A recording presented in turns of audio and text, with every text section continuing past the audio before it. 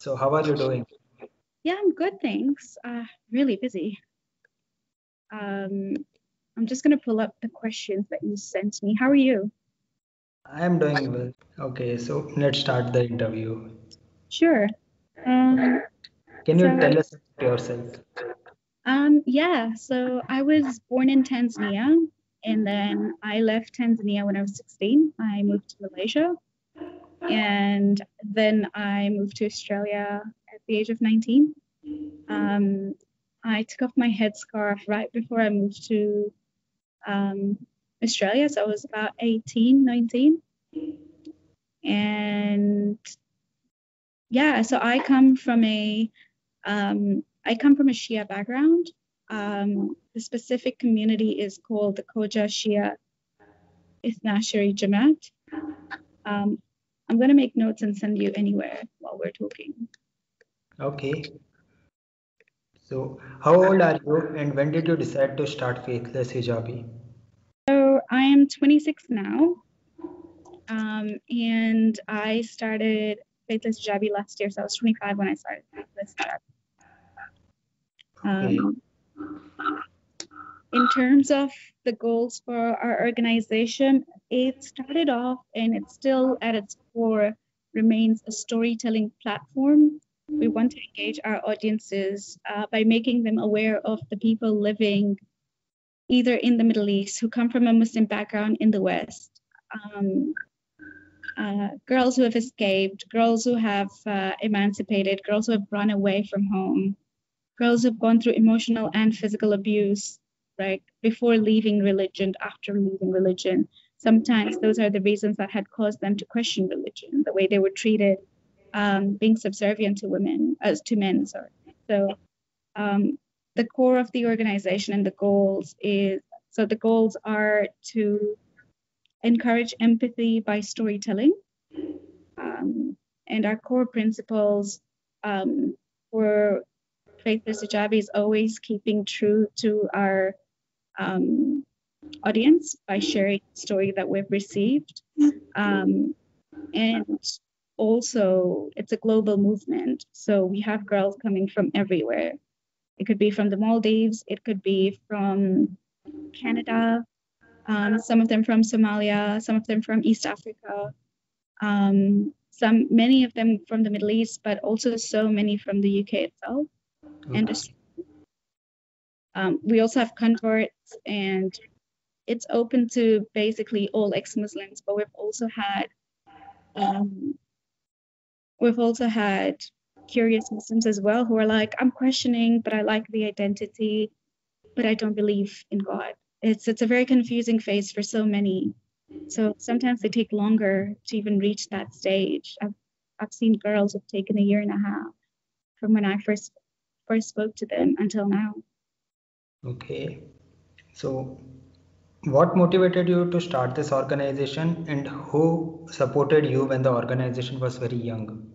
So initially, I started it with um, a Christian male friend of mine. Um, we had different goals, but in the end, it ended up molding into what it is now. Initially, we wanted to um, initially we wanted we wanted to create a Sydney-based group for people to question things, but that didn't that wasn't safe for many people. Not many people would come out as curious Muslims. So we had to then narrow down our field to talk to people who had already come out. So I've always been leading it. I've had a few people help me with um, the setups of it, um, registering the nonprofit, but I was motivated by my own experiences. I wanted to know, um, I wanted to know what other girls had gone through because I had gone through the same thing. Um, while I come from a very a relatively liberal family, um, I still felt very lost, but also found. I had found my new identity, and I had to settle. And I was learning how to settle into it, but I also wanted to know: can women come together and help each other? Um, because we still go through a lot of security risks with the girls' stories that we get. Um, a lot of girls are not comfortable talking to other people, so they'll talk to me or they'll talk to other volunteers, but it's always a one on one thing. Um, we couldn't actually create a community yet. We're working on it now to create a community. Uh, but what had motivated me was finding validation and and aligning what my story was to other stories because I'd heard of other ex-Muslim women like Ayaan Hirsi Ali, Sarah Haider, and bits of their stories were the way I was thinking, but I didn't know how to confront it. And I could only imagine that there's so many girls like me who are going through the same phase. And it only made sense to then reach out to women, ask them for their stories. And initially, I would read my story, I would read the entire story on my own and publish it. So it was a one woman run organization until um, March this year. So for from October to March, I was the only one running it. Okay. Um, no, it wasn't my full time job.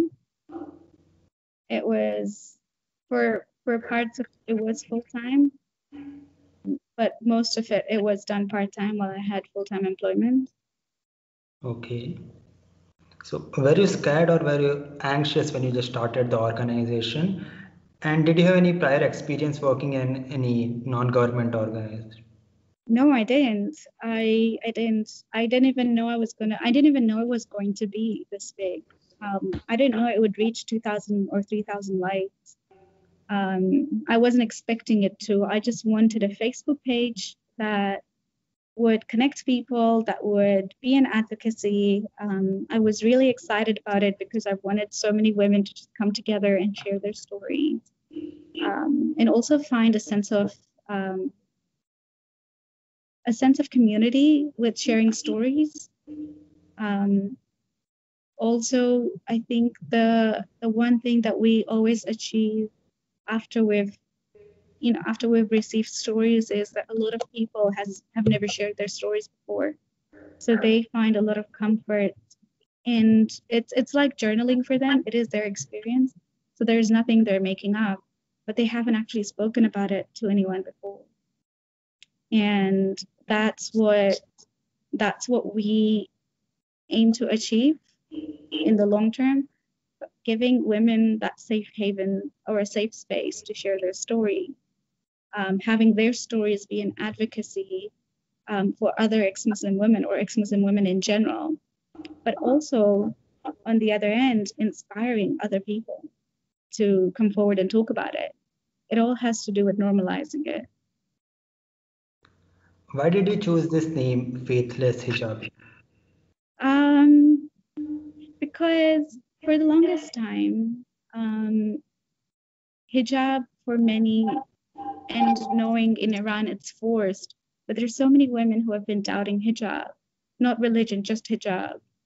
But we came up thinking, what if we, how do, how do we portray an ex-Muslim woman um, who's faithless but can't come out? Right? and hijab felt like a good cover that where a lot of people who are questioning um, would still wear it because they're not sure yet. And hijab was that identification of Muslim women. But what happens when they're faithless? They're not Muslim women, but they're still hijabi. And they can be hijabis, and they could be faithless Muslims if you take Muslims as a um, cultural name. Do you put all your time behind Faithless Hijabi or do you work at other places? I have I have two other jobs. So um, on weekdays, I'm a programmatic analyst in a media agency, and on weekends, I work as a bartender. Um, only because I'm trying to have more time outside um, Faithless Hijabi while growing it part time. So Faithless Hijabi is very much part time for me. okay. What is your role at the organization? Um, my role in Faithless Hijabi is, well, besides founding it, I do the strategy part. So I'm a strategic lead. Um, I'll decide on what campaigns we should put out, um, what conversation or conversation starters do we have, um, how to reach other women, um, what tech we should be investing in. Um, so I do pretty much the operations, the the top level operations part of it and the tech part of it because I come from a technical background. And then we have a few volunteers who do the Arabic page of Instagram and the English page of Instagram, Twitter, and Facebook. How many people volunteer for the organization?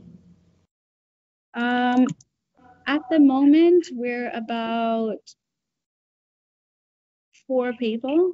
We're about four people. Um, we're trying to get more volunteers to come in, um, but we're in the process of actually establishing a better nonprofit structure. So, um, looking for more experienced people who can help us drive it forward. Uh, all the girls who work at Faithless Hijabi are actually ex-Muslim women and real faithless hijabis as well, who wear a hijab but can't take it off. Do they all work full time? Um, they all work. Faith Faithless Hijabi for many is on volunteer basis. We have no funding. We haven't decided to apply for funding because we're waiting on a better um, structure. We're waiting for more growth um, which will probably be happening in the next two, three months. So we just released our Arabic page about two, less than a month ago or a month ago. And that is still gaining traction slowly, but we plan to keep growing it. What is the outline of how the organization functions? So with Faithless Hijabi, we have we now have a website where women can submit stories. But previously, I used to, because Faithless Hijabi was a large part of our growth was based on my growth as an activist.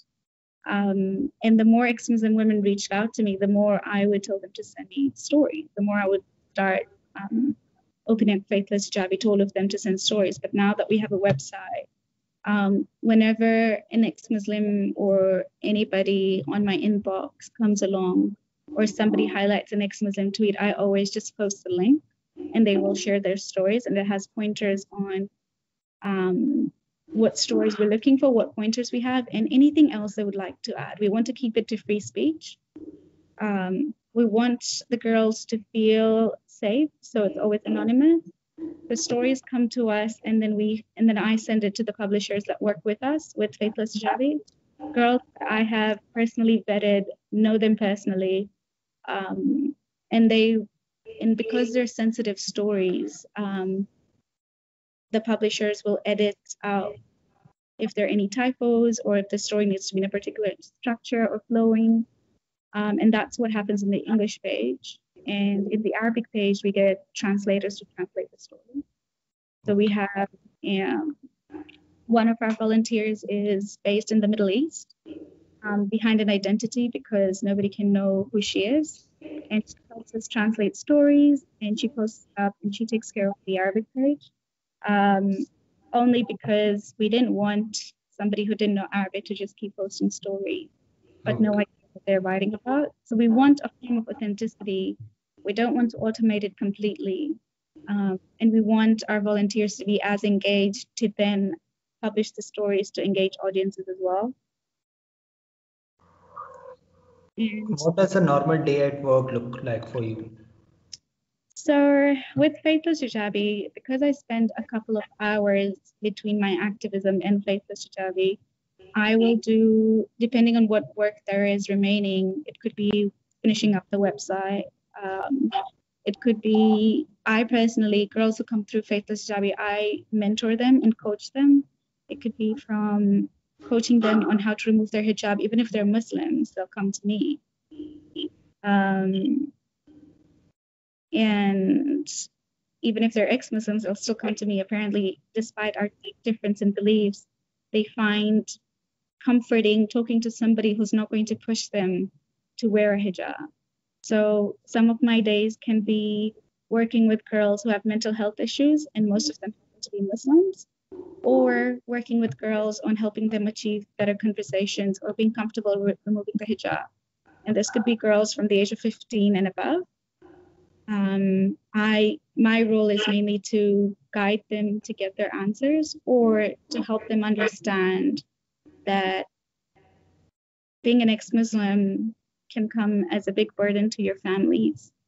And despite us wanting to accept it, we also need to accept that they, they would not accept it. That we need to learn to create better boundaries between us and our families. And that has personally worked for me. Um, on and off, sometimes even I fail to um, hold up that system of boundaries. But by large, I just have to coach girls into, well, one, being independent um, in their decisions, two, also being safe. Also, when they take those decisions, are they safe in their current environment? So there's a lot of coaching and mentoring happening. And then there is um, the operations side that is happening as well. So it's right now we're looking for more volunteers to help us, but at the moment, um, I've been carrying a lot of different things that I need to do. According to you, what is the significance of a hijab? Well, I have never been, well, I, I don't think hijab has ever been a choice for all, for any of us, really, who were born Muslims. We were told that hijab is what good Muslim women do. So we were co- we were coerced to wearing it. I thought I chose the hijab myself, but I didn't. But at this point, at this point in this day and age, a lot of the girls wear it as a political identity. They want to be recognized as Muslims. A lot of them don't even know how hijab. A lot of them don't even know how the hijab came about, um, based on its history. They don't know a lot of the stories that what about hijab. They don't they don't question why the hijab is there for women as clothing and not the same for men. Um, they've just learned to accept it. So I think at this point, hijab, the significance of hijab is mostly as a political identity. Did you first wear a hijab willingly? Um, I was eight and I chose I, I thought I chose to wear it, but like I said, at a young age, I was always I've I've always seen Muslim women wear hijab. Until I was 16 and moved overseas, I didn't even know you could be a Muslim woman and wear hijab. So I think I would say I was coerced into wearing hijab. Um, it wasn't fully a informed choice of mine or an informed decision, but I did say I want to wear it, and my parents did not um, shy away from it. They accepted my decision because I was I would have had to wear it when I was nine. I started when I was eight. When did you decide not to wear a hijab? I was about 18. I was about 18 when I decided I would take it off. But even before then, I started slowly loosening it up or showing my hair on the front. Um, I used to wear an abaya as well, so I took off the abaya and I just wear a headscarf.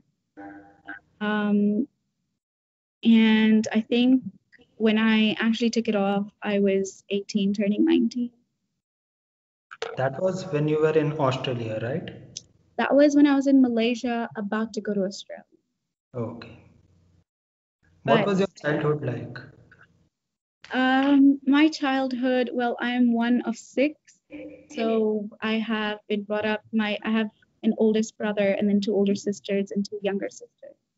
So my sisters had already set the pre- the precedence that they wear hijab and I had to wear hijab. But at the same time, I grew up in a very relatively liberal family. My my family was happy to send me overseas um, for education. They did expect me to still be a Muslim. They did expect me to come back.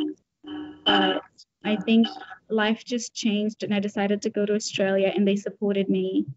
Um, so they've never been extremists, they've been conservative.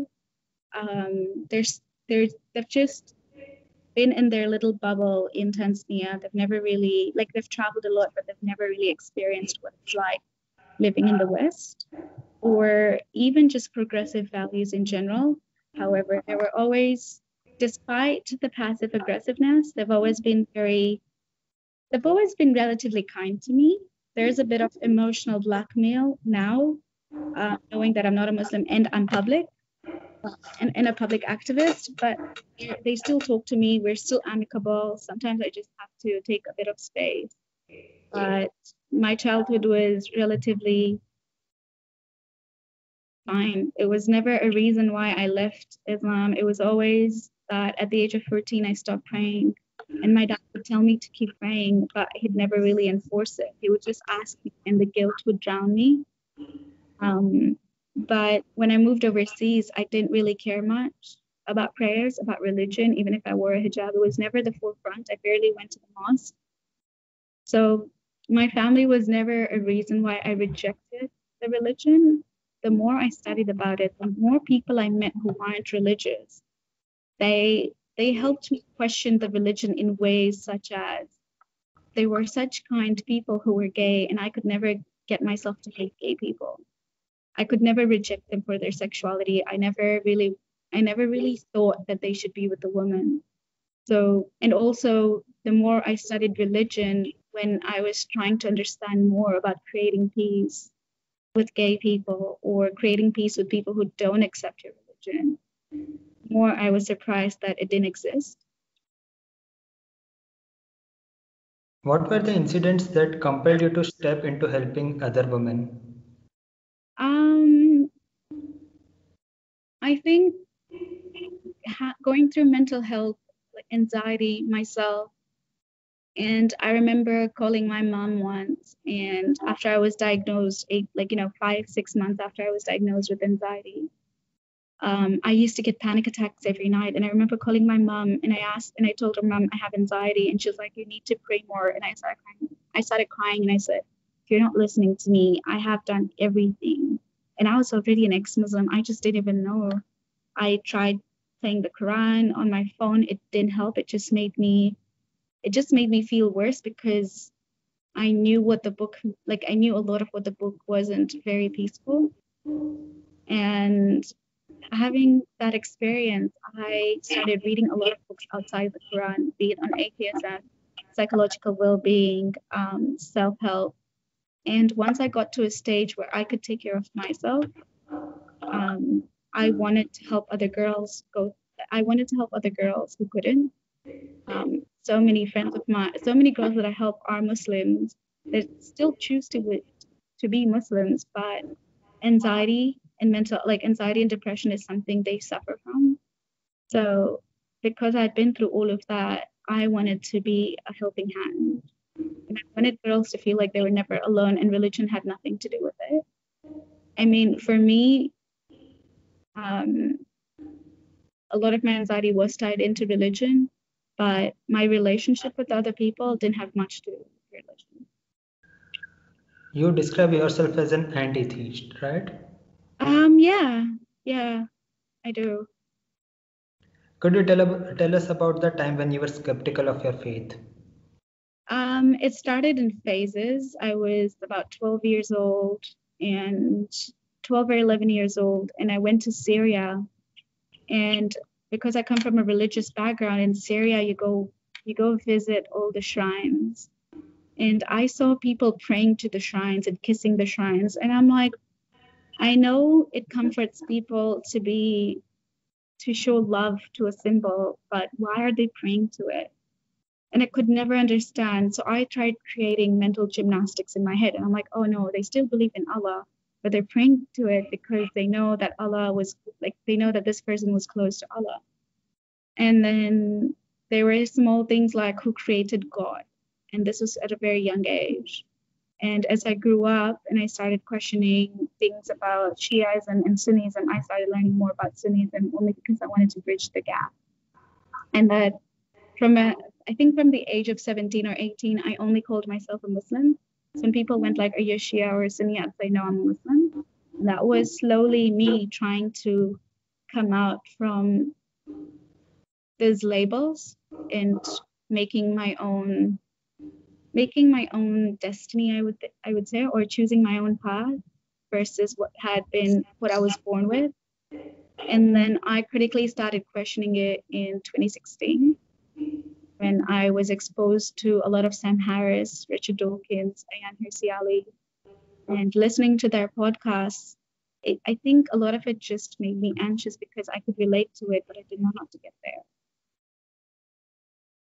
Did that attract any violence or threat?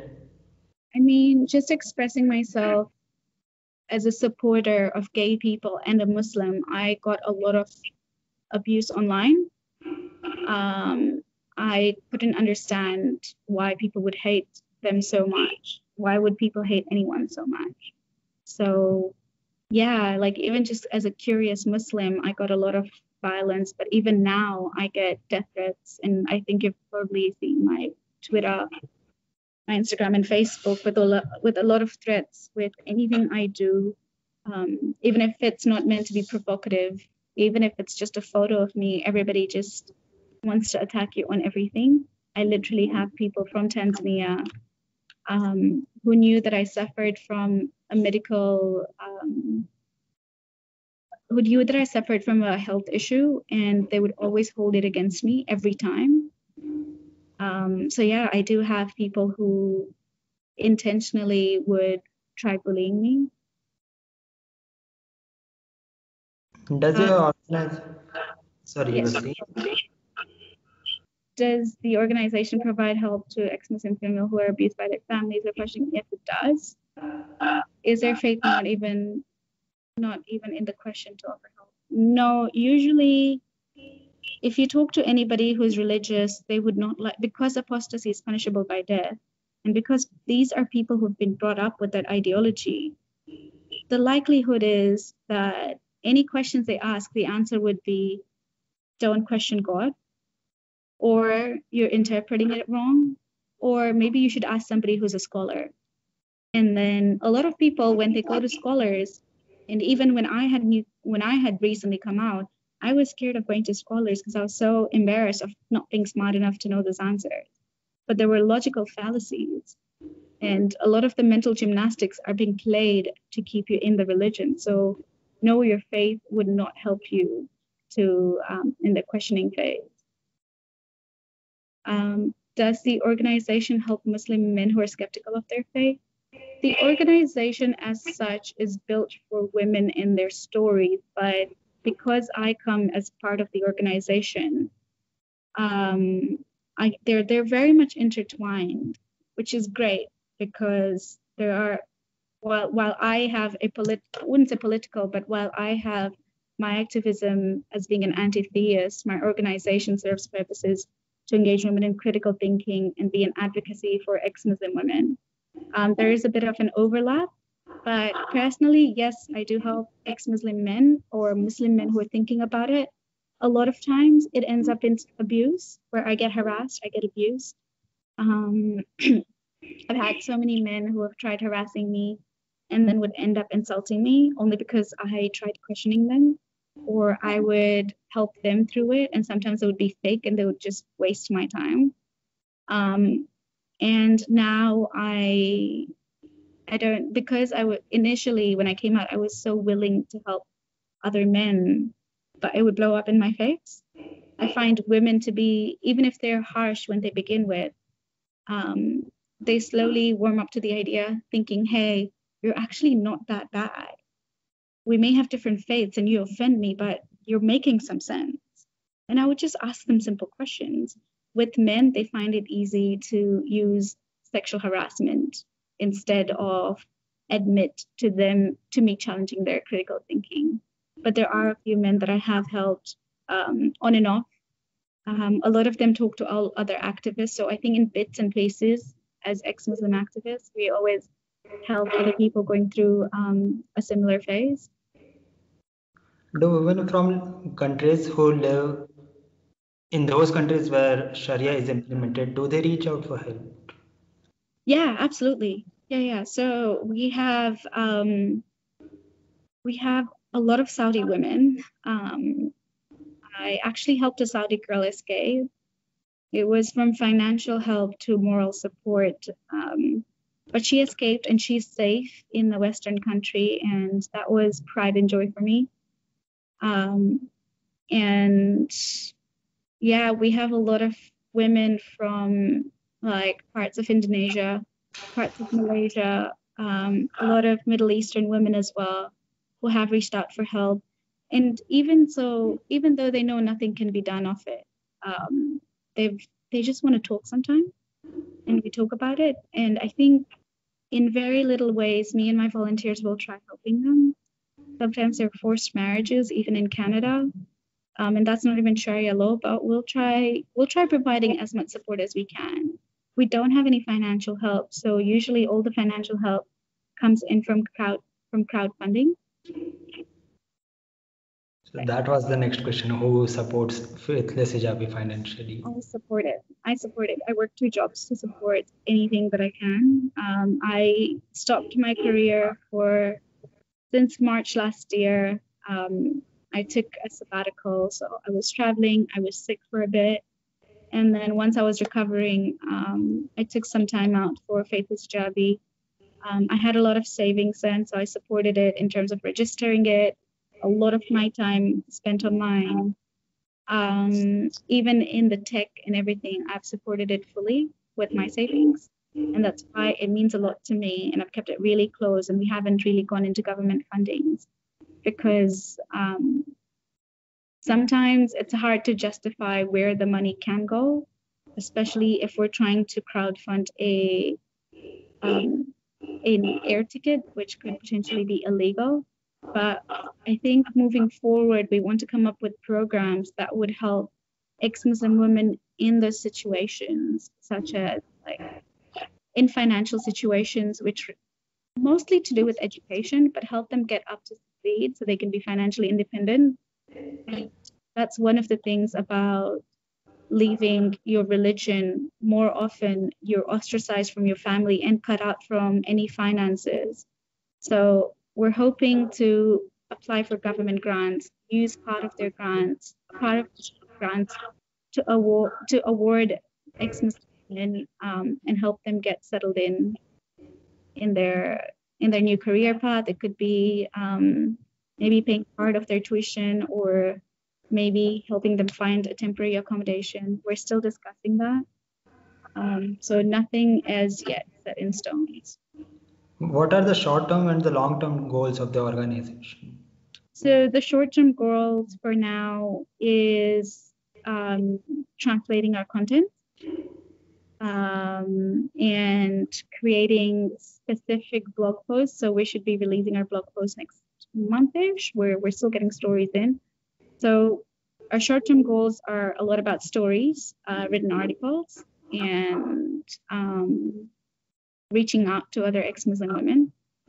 Uh, long-term goals, the way I see Faithless Hijabi is um, working alongside with other ex-Muslim, um, other ex-Muslim organizations. We would like to, we would like to specialize in helping women with, um, with their rights, with helping them encourage their rights. So I think in the long term, we're hoping that it will grow enough to be recognized globally um, and hopefully create create an online community which we have not yet stepped into only because we have a lot of admin to do before we can create that. So i think long-term goals would be actually creating a community of ex-muslim women are there any sister organizations of faithless hijabi outside the uk um so Faithless Hijab is actually registered in Australia as a charity. Oh. Um, only because I'm Australian and I'm temporarily in the UK until I get sponsored. But Faithless Hijabi is a global movement, so we're mostly based online, regardless of being set up in Australia. We're based online. We have women work. We have one person working from the Middle East. We have two of us working in the UK, one or two people working in Australia. So that's the way we've been set up. But in terms of sister organizations, um, I would think parts of what we do resemble with a lot of organizations which are in the UK already based, a lot of other ex-Muslim organizations like EXMNA, um, CEMB. Um, I help run the Australian ex-Muslim group as much as I can from being in distance. So the partner organizations are pretty much ex-Muslim um, organizations but also others that could coincide with um, the Free from Hijab movement. Um, I think a lot of what we do can partly resemble with many other organizations. We've tried to narrow down what we'd like to specialize in. What are the struggles of a Muslim woman in present day and age? Um, I think with being Muslim, there there exists anti-Muslim bigotry, especially for hijabis. And while I don't personally endorse the hijab, I would never let anybody else um, be. I would never let anybody else be a subject for anti-Muslim bigotry.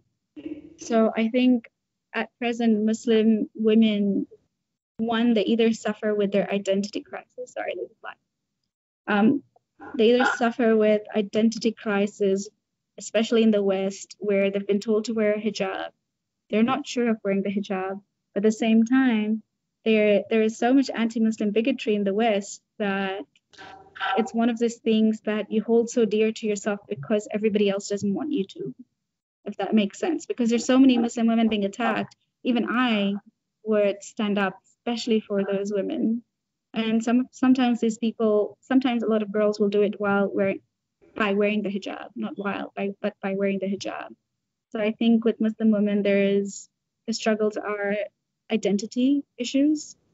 Um, also being the subject of anti-muslim bigotry is a big one. But a lot of it has to come down some girls that i help are actually victims of double standards in their family so the boys would get different rights, the girls would get different rights. I never had to face that, but a lot of other girls actually have that as a main concern.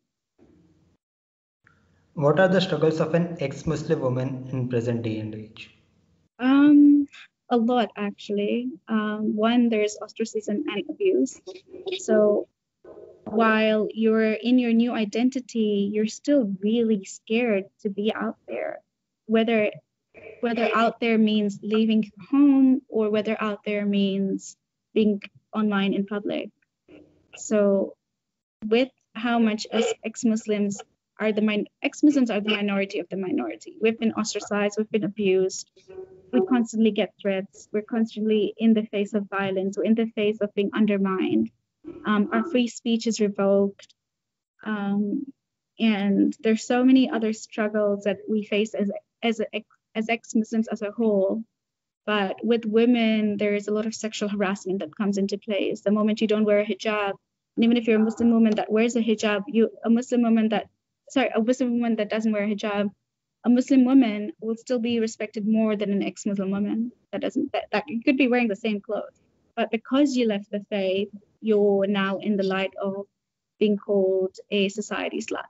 Like the modesty culture has depended on women forever, right? So even if there are women who don't wear hijab, those women will attack ex-Muslim women for not wearing the same thing. But their response is, at least I'm still a Muslim. Um, so I think, you know, harassment is a big thing and also being accepted in the society or being just even being accepted by your family is a big thing. And you lose out your friends and you lose, and, you know, there's a lot of mental, mental health issues that comes about it. Um, especially because if you don't have any support while you're finding yourself, you tend to lose yourself even more because there's so much negativity associated with that. But I've only seen and heard from so many brave ex Muslims who've been through hell and back. And despite being alone, they've stood up, they've, they've stood up, they've fallen, they've stood up, they've risen. And that's amazing to watch how strong all like these women are. Previously, you have worked with Rahaf Muhammad, right? Sorry? Previously, you have worked with Rahaf Muhammad, right? I did work with Rahaf. So my role with Rahaf was a very, it wasn't like an aligned role. I was in the plane from London to, sorry, this one's I was in the plane from London to Sydney, and somebody flagged, "Hey, there's a girl who's in Thailand, and she's an ex-Muslim girl." And that was when Rahaf had just come out, and my role there was to make sure she was okay, And when she asked for help, I didn't know who to go to, but I looked at other people helping and I collaborated with them. And my role there was to make sure that as an ex Muslim, she's being heard and that she's being safe. And if that involves um, contacting the UNHCR or contacting the government here or writing letters or working with people who are already helping her here, um, that's what my role encompassed, like putting pieces together. Um, I feel like her story was taken away by the media for being a Saudi woman who had ran away from male guardianship laws versus being an apostate and a Saudi woman. So apostasy has just been erased from all of it. And her running away, and you know, when other ex-Muslims spoke about it, it shed a bit of light on the ex-Muslim as a ex-Muslim as a society, I guess, or ex-Muslim as a practice, like a practice of disbelief. What, what do you think are the hurdles around the globe about discussing the questions related to Islam? Um, I think there is a lot of um, political correctness. Um, even when people share their experiences, their experiences are mostly tarnished by um, a left, the regressive left, who name it as, oh, it's part of your culture, but it shouldn't be. A bad idea, whether it's in a culture or religion, should not be endorsed at all. So, do you find more resistance from Muslims or Western non Muslims when you criticize Islam? I, I find, I feel like ex Muslims are have been cornered by the right wing because they will take advantage of ex-Muslims um, to further their anti-Muslim bigotry, and the left wing would criticize ex-Muslims for speaking up about Islam or their experiences. And the Muslim right, who are like the Muslim, the Muslim right wing, who is more of the Salafi, very extremist practice, who would disregard you for ever being a Muslim because you didn't, because if you were ever a Muslim, you wouldn't have left and the left who talk about um, them not being represented as real Muslims because they are not um, as extreme as the right wing. So there's in the Muslim world, there's always this question on who is the right Muslim. And that's why ex-Muslims, when they come out and they decide to criticize the scripture, each side will attack them saying, oh, but we're not homophobic. My sister is gay. Um, so I reject this verse. But then the right wing will go like, no, you cannot be a homosexual. That's it. Like you just can't criticize that part of Islam because that God has made you that. God has made you to love women if you're a man. So I think the challenges come from um, the non-Muslim left and right wing and the Muslim left and right wing and ex-Muslims are the center of all of it and they're abused even more by all of the sides and they're criticized as much. How do you cope with this? Um, I have I have pretty much um, with the negativity that comes about, I've pretty much distanced myself. So in terms of the way I use social media, I will put up a post, put up a meme, turn off notifications, and then let it go. Um, sometimes I do tend to engage, but it's also reminding myself that I'm only going down a rabbit hole and there's no real outcome to all of that. Sorry, one sec. Yeah. And that there's no real outcome to all of that and that I should I should speak to people who I can where I can make changes and um, let go of those who are just beyond changes. Um, just recently I posted up the Allah's Gay photo and I had a lot of backlash in Nagpur, a lot of celebrities, some celebrities tweet about. Um, but at the same time, I had women who came up to me and she's like, look, if you have any questions about Islam, I'm happy to answer, but I don't like your post. And I'm like, I am an ex-Muslim. I've studied Islam for a long time. What makes you think that I have questions? I don't. I've never I've never asked a question like that since I've come out. I'm quite happy with my decision. And another girl came out to me, started swearing at me. And then I was like, look, the only person who's being disrespectful in this discourse is you. All I've done is stated my views. I'm not swearing at you. And she, in response, saying, she in response said, Your dad is gay. And I'm like, That's okay. I'll still love him. It doesn't matter. Like, you know, gay people to me are not a threat or a disgust. I don't really care. Um, and, you know, and then she's like, You seem like a nice person. Stop offending people. And I'm like, Think about it. Why are you offended? Right? Every time I say, every time I ask this question, people are like, but he's my God. And I'm like, yes. And if you know your scripture, then you should know that there's so many things about your scripture that even you would disagree with. And they're like, yeah, but you know, you could you could see there, you could see the wheels turning. So I have I have tried sometimes, mostly with women, uh, talking to my abusers. So um, it's like confronting my abusers and why they hate me. Um, and that that engagement gives me more satisfaction than engaging in somebody in a rabbit hole. Does the internalized misogyny in Islam pose a significant threat to others? Um, well, apart from what's already out there, it's just a matter of the ones who practice it. So there are a percentage, a very small percentage people who are fundamentalists, and then they're conservative, and then they're liberals. The ones that we fear the most are conservatives or extreme, sorry, not conservatives, they're extremists who would literally take the word of God and act upon it. And there are definitely some parts of Islam that a lot of liberals would also disagree with, homophobia being one of them, um, unequal rights for women being another, and also just um, like the killing of non-believers, polytheists, um, something that has happened in history that has been substantiated by, oh, it was defense. But ISIS seems to take that word literally. They would also kill Muslims who are liberal. So it looks like the whole, like Islam in itself has been destructive to itself. And their practices have been destructive to the world as compared to a secular world.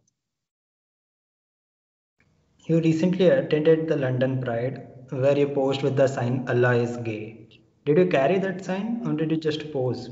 I only posed with it, so I didn't go for the march. I couldn't make it to the march. I was not feeling well, but I only posed with it. I did, however, see them pass by, and there were a lot of people who were cheering for those who were in it. I felt really proud to have known those people because it's brave. Um, and I didn't think my photo would go viral. I did, really did not expect um, so much negativity to come about it.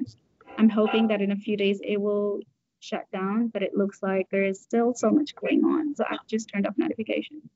But I think for the most part, there weren't many, there weren't any Muslims out there that I could see, nobody in a headscarf that I could see. Um, so most of the people out there were just like happy. They were just happy for them. They're like, they don't really care. They just want more acceptance. People were just there to be happy. But I think it was one of those very few days where I didn't see a lot of Muslims in the city. What would you say about that sign? Being an anti-theist and then saying Allah is gay, that will it, it just as, fit as together. contradictory as it sounds, as contradictory as it sounds, if you if you think about it, in your narrative, if if somebody who's a theist who accepts Allah as being a god, their god, or one of the gods, right? Um, him being gay would only be offensive if you're homophobic, right? Had I said Allah is not gay, nobody would have that dissent or say if Allah is straight, nobody would really care, would they? So it's it's it I think this highlights the, the negativity that is being associated with being gay. Um, as a person who doesn't believe, and when I read that, I could have said Peter Pan is gay, and because it doesn't exist, it doesn't matter to me. It could be a figment of my imagination. So the idea for that was one to normalize that being gay is okay. I don't understand. No, I think I understand why people have taken it in a very crude way, but it's also because they cannot comprehend that being gay is okay. Um, while while I know it has provoked a lot of people, the idea, I, the, the way people have responded to it. Now, I have a few Muslim friends who are like, I don't really care if you say Allah is gay. He could be, he could be not. I don't know.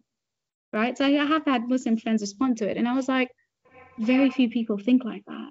See, like now I know that you're a peaceful person. Right. Um, and the way the majority of the people have responded have just highlighted that despite Jesus being queer as a poster, Allah being gay had more of an outrage. It had a lot of an outrage. It just highlights the domination that Islam has over other religion and why, if we had to rank as one of the most dangerous ideology, Islam would take the rank. Um, and it has a lot to do with its political identity in the land in this landscape, you know, taking dominance over other religion. And while there's an increased rate of birth rate, there's also an increased rate of extremism and terrorist activities that come about um, Islamic terrorism. What are the recurring insults you have received because of your volunteer work and your stance against Islam?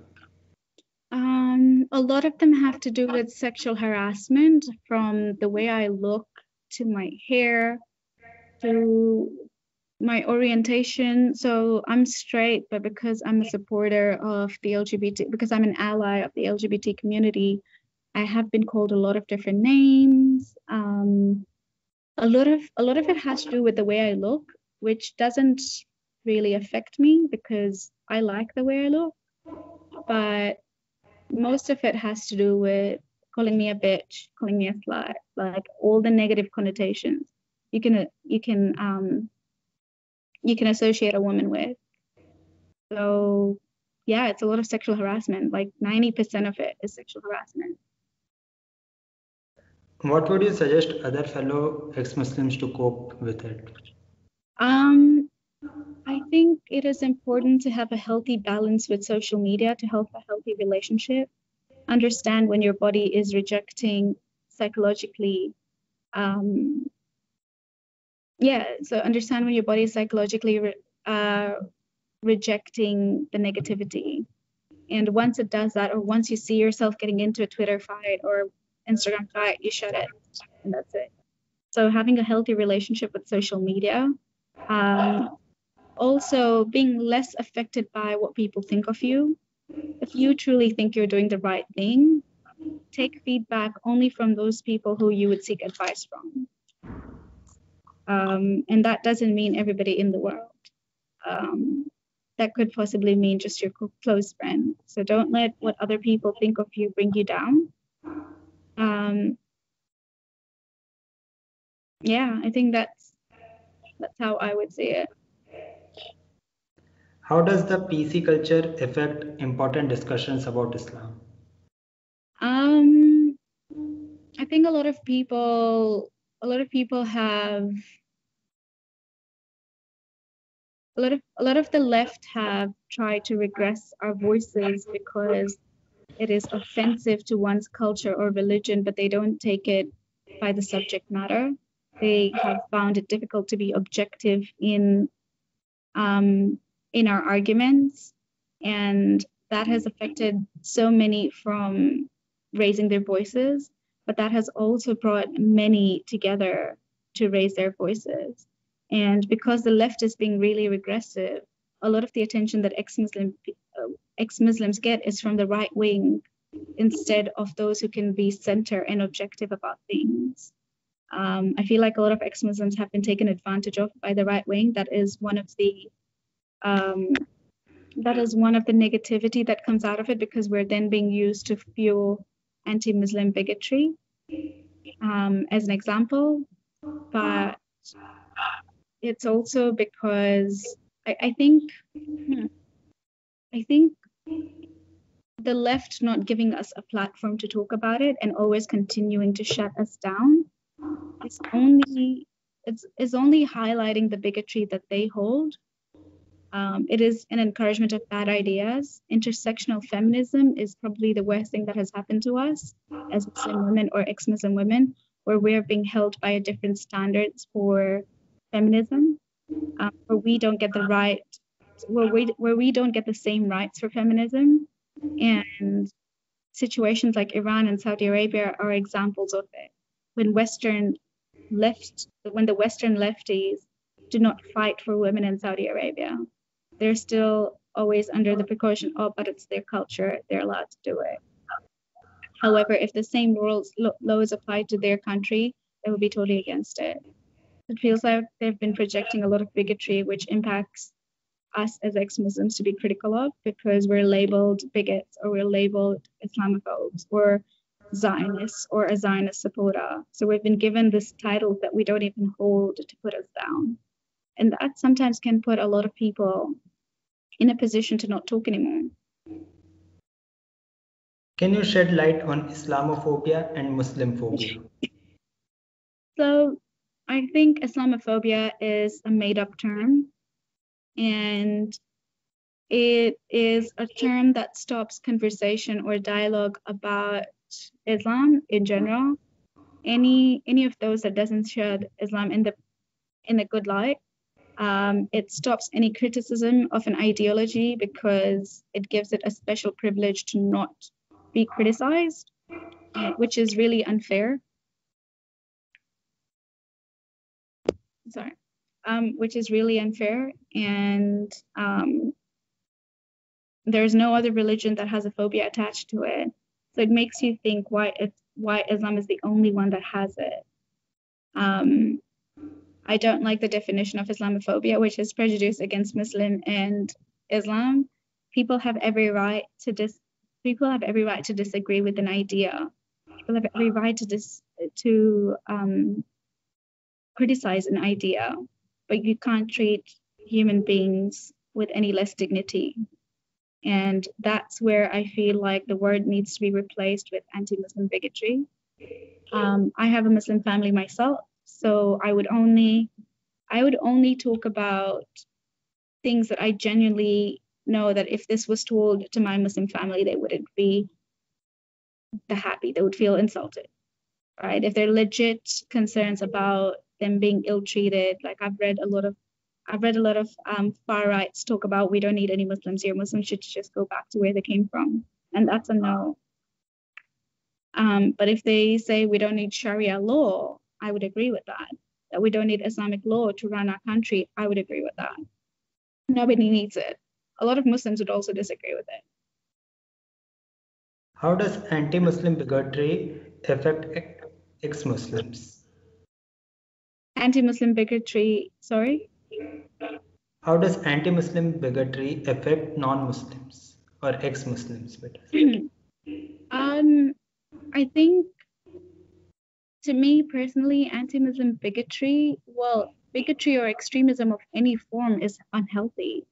It is a violation of people's civil rights. It is a it is treating a human being less than what you would treat others the way it affects us is because we're the more we encourage it, the more we're encouraging a world of um, violence, the more we're encouraging a world of abuse. And I am personally affected because I still have Muslim friends and family, and I don't hold any prejudice against people who practice a faith in their homes. Um, I would, I have no problem people practicing it their, in their homes, provided it doesn't affect the world outside or the public or in the public sphere. But anti-Muslim bigotry, I think to me, I'm always reminded of what if my family were in that situation? What if they were told go back to where you came from? Um, I think every person who values people's rights should be fighting against anti-Muslim bigotry. Um, and that doesn't mean that you have to allow the ideas that are bad for humankind to flow. It's important to segregate them. And there is, it is definitely hard to do it when um, you don't want those that you don't want those ideas that you're criticizing impact the people that follow it because they have been for the most part many of them have not read their books many of them do not know why they're in the religion except for they were born in it um, I would like to think that people are better than ideas like that, but a lot of them have never been given that opportunity to question it, to either leave or to become better people despite following the spiritual path of Islam. I feel like the political part of Islam always takes dominance over a lot of fundamentalist and conservative Muslims. What do you think of the burqa bans that countries like France are pushing forward, citing the secular beliefs? Um, I'm not a particular fan of bans that are involved bans that contain bans that aim to police a woman's body. But in terms of the burqa ban, um, there are two sides to look at it and this is a more centrist position. One, we're doing the same thing, which is policing a woman's body by not having them wear it.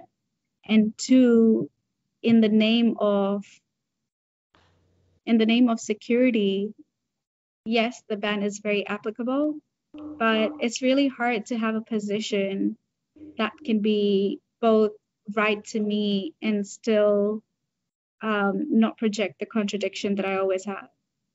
Um, while I come, while I am optimistic about it, that I feel like I can help women come out of wearing the hijab, it's still a future that I don't see happening. So with burqa ban, I guess I'm mostly in for it, and I accept that there does uh, project a security risk when you cover your face. So no face covering should be allowed of any form um, and it shouldn't be targeted to just the burqa because it does project again anti-Muslim bigotry. But any masks or anything that in in the public should be banned if it's for security. Um, at the same time, it, when you think about it, there's so many girls that I have spoken to had worn the burqa unwillingly at the age of 10 or 11. They didn't choose to wear it. That that kid is in grade five or six. Like they they don't know what's happening. So in a way, that it's quite that it's quite good that a country in Sweden um, are voting to create a bill that kids under I think under 18 or 16 should not be wearing the burqa. Well, last Friday, Tunisian Prime Minister signed a decree banning niqab. Are yeah. you aware of that? Um, what Prime Minister? Tunisian Prime Minister. Um, I don't know much about Tunisia, to be honest. I only know that there was a gay, I think, member of parliament voting to become a president, but I don't know much about the burqa ban. Well, as it happened on June 27, there were two suicide bombings in the capital. Right. And witnesses said that the suicide bomber was wearing a niqab and hence they went for a niqab ban in public institutions. Well, this is again an example of they actually have they actually have data and people that are actually doing acts in you know in like the burqa ban. So I think it's it's a good thing because right now they actually have those data to support the burqa ban. Um, but yeah, interesting. I didn't know about it. I'm just reading it up now. So, do you find security reason as a valid reason to impose such bans? Yeah, absolutely. Bad ideas are bad ideas. It's just like FGM. I'm not comparing the burqa to FGM in a way, but like just in light of what bad ideas are, FGM is bad. Although some people do find it good and religious and halal and everything, it is still a bad idea and we should take it as such. If the burqa has a negative consequence in a country where it is likely to get terrorist attack by women wearing burqa, and now they've also had um, security concerns for it, I think that's a valid reason for it. How can the situation for an ex-Muslim be improved around the globe? Um, I think having ex-Muslims speak more, defend our rights to speak, because a lot of time we are always in the face of criticism. Defending their rights to speak is one good thing. Um, having the left explore what option, how we can further help to create a better world. I feel like in the end we want a better world. if that means to criticize bad ideas, then we need to work together to criticize bad ideas regardless of whose religious feelings it affects. I think it's important to put tangible outcomes in the face of those bad ideas? What happens if we don't talk about this idea? What happens if we continue to have extremist groups in our country? Um, or how can we improve the outlook of the people um, who are, you know, who are subjected to FGM, who are subjected to forced hijab? Hijab is again policing a woman's body, people who don't want to wear it, some people who want to wear it. I think it should be a choice even though like essentially i don't think it was ever a choice but the only way we can counter this is by educating women to get their rights so i think ex-muslims movement can drastically improve when we have more awareness um, more exposure to different platforms um, i think even just normalizing that it's okay to leave it's okay to come out and providing you know having laws that criminalize um, apostasy, countering those laws of those countries is already a great help for many ex-Muslims. Because the ex-Muslim movement is on the rise, mostly because it is criminalized.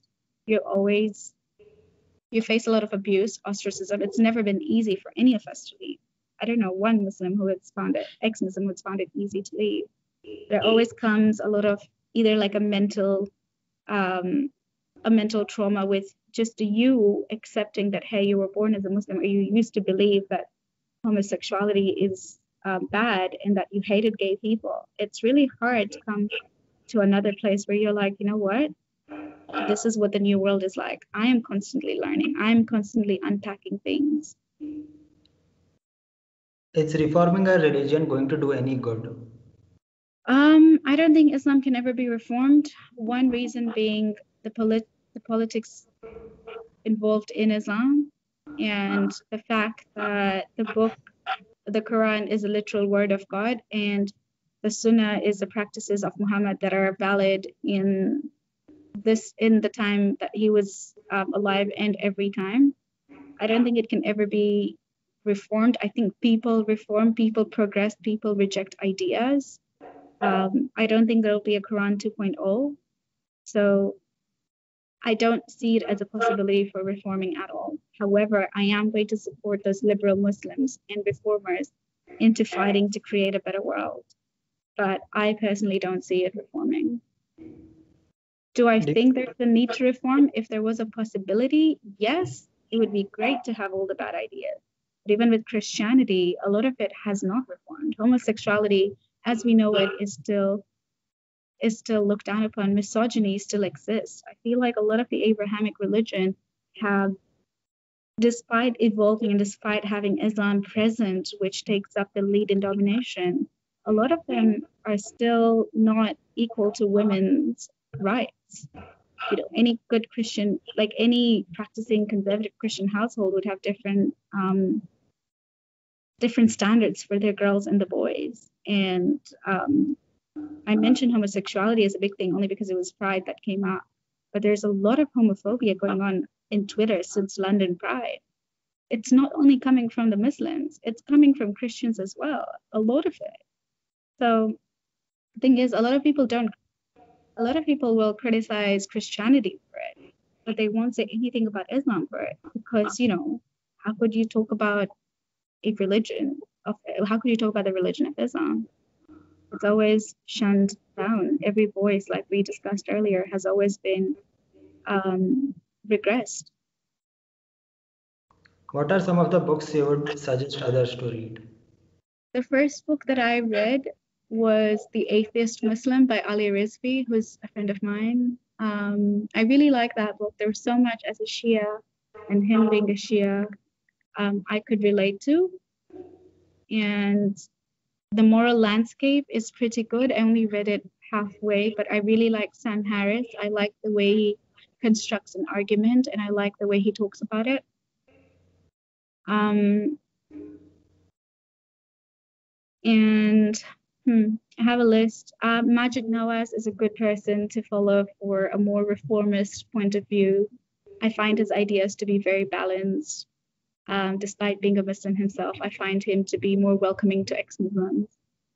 Um, Richard Dawkins can be somebody who is somebody not not for curious Muslims, but those who have already come out. It's a very good it's a very good book to kind of fathom how God is an illusion.